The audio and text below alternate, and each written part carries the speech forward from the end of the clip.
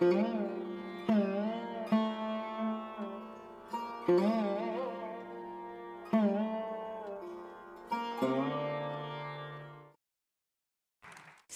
Arjun Verma is an Indian American sitarist and composer, beginning with his father, Roop Verna, Verma, sorry, and continuing with the legendary Ali Akbar Khan and his son Alam Khan.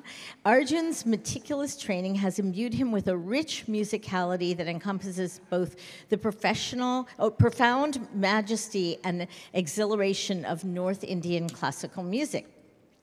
Arjun shares the jewels of his cultural heritage in a manner that is fresh, modern, and relevant while maintaining a high standard of traditional integrity.